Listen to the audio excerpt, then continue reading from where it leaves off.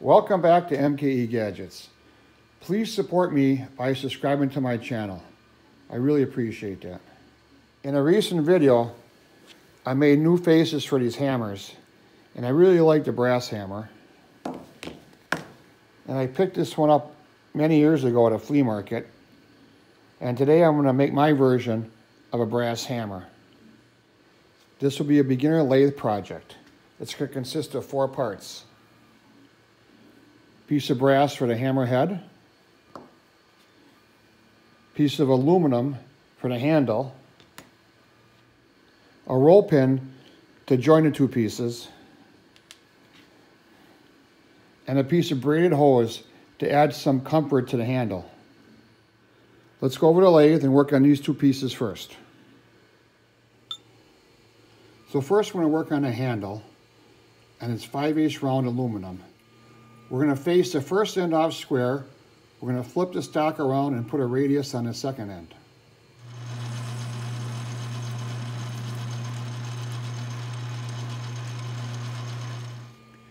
With the aluminum stock flipped around, we're going to face it, chamfer it, and then hit it with a file. Put a little radius on the end.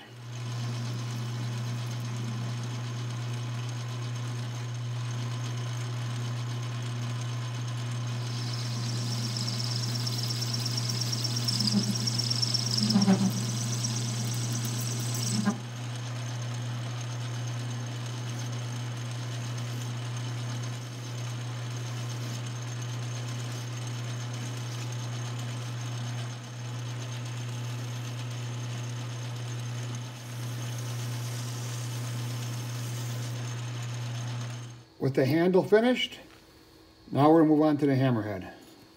For the head, we're gonna face both ends off and put a chamfer, a groove on each end, and a chamfer on each side of that groove.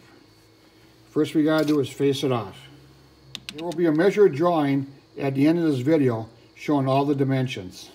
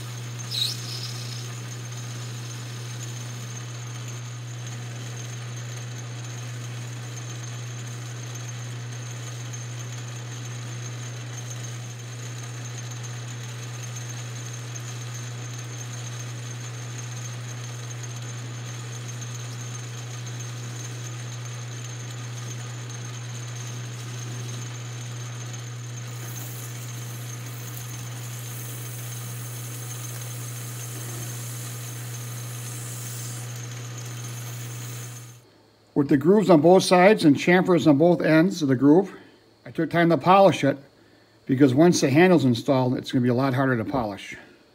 The groove diameter and width is really not critical. You just want to make them look symmetrical. Let's take this over to the Bridgeport mill and install the handle. The diameter of the handle is 5 eighths, 625.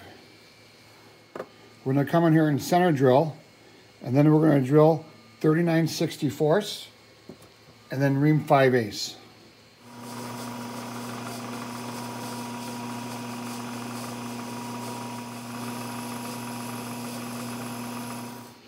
Now the trick here is not to drill all the way through.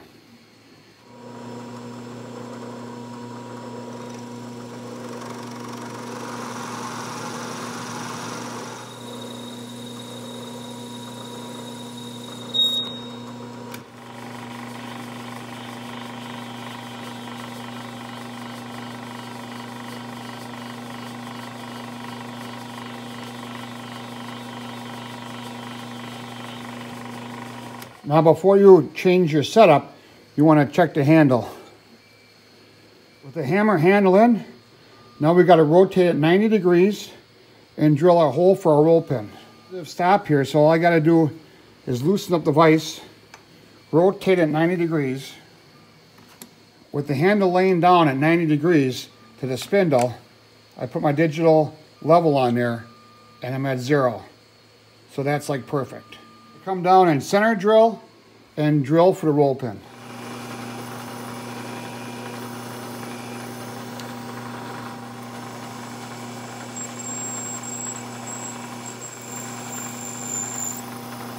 Now we install the roll pin. Some people call this split pin.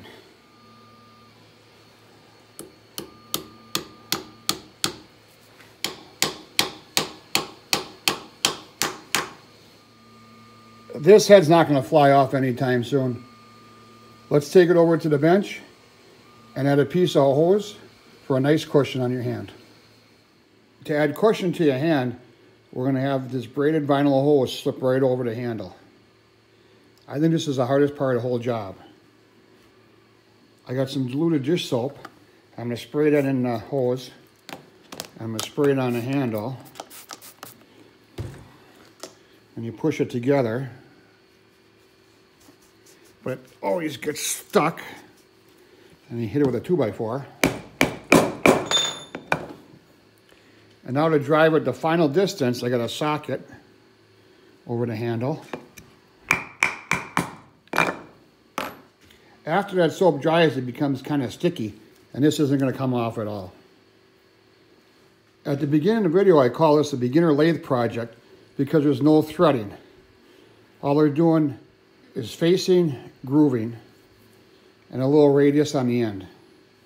I don't like threading the handle and then threading the head because they always seem to come loose. With that roll pin in there, this baby's never gonna come apart.